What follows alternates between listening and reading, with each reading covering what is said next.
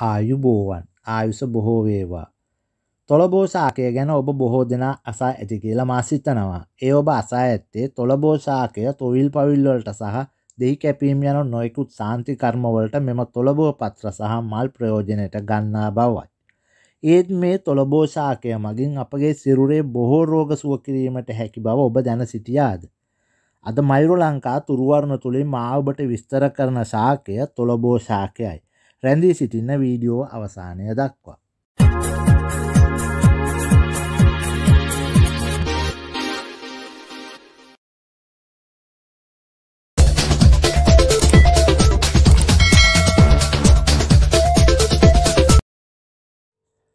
තොළබෝ ශාකය ඇතැම් නිවෙස් අසල රෝපණය කර තිබෙනු අපට දැක් ගන්නට පුළුවන්. මේට සිංහල භාෂාවෙන් විෂමණ්ඩල යන නාමයෙන්ද හඳුන්වයි.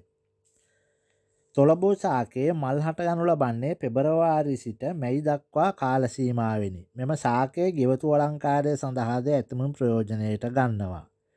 ඔබ දන්නවාද මේ තොළබෝ ශාකය මගින් සිංහල ආයුරේදී මිනිස්සිරුවේ රෝග ගණනාවකටම ප්‍රතිකාර කරන බව. අපි බලමු මොනවගේ රෝග සුව කිරීමට තොළබෝ ශාකය ප්‍රයෝජනයට ගන්නවද කියලා. මුත්‍රා අඩස්සිය නිතර ඇතිවන උන ශාරීරික දුබලතා පණුරෝග ෂයරෝගය ඇදුම ගෙඩි ශරීරයේ පිටත තුවාල වන අජීර්ණය උදරාබාධ ශරීරයේ නොයකුත් විස අක්මාරෝග ගුල්මරෝග ශරීරයේ වේදනා කාන්තාවන්ගේ ලිංගික ප්‍රදේශ ආශ්‍රිත රෝග රක්තදෝෂ වාතරෝග කෑම අරුචිය හිසේ කැක්කුම දත්රෝග ඉදිවුම් වකුගඩු රෝග සමේ රෝග යන රෝග සුව කිරීම සඳහා තොළබෝසාකයේ පත්‍ර සහ අල ප්‍රයෝජනයට ගන්නවා. හරි ඉතින් දැන් ඔබ දැනගත් අද තොළබෝසාකය මගින් සුව කරගන්න පුළුවන් රෝග මොනවද කියලා. ඉතිං අපි දැම් බලමු නොයෙකුත් ප්‍රතිකාර සඳහා කොහොමද මේ තොළ බෝසාකය යොදාගන්න කියලා. තොළබෝ පත්‍ර තැම්බූ කසාය කැස්ස ඇති රෝගීන්ට පානයට දෙනවා. කකුලේ ගල් තැලමුමක් ඇති වූ විට තබෝ අලකැබැල්ලක් පලා ගෙන්දගම් සමග උණු අලුවේ පුච්චා අඹරා එම ස්ථානයේ ගල්වයි. සන්ධී ඉදිවුම් වලදී සහ උළුක්කුවීම් වලට තොළබෝ පත්‍ර එඩරුතෙල් සමගින් අඹරා රච්කර ආලේප කරයි.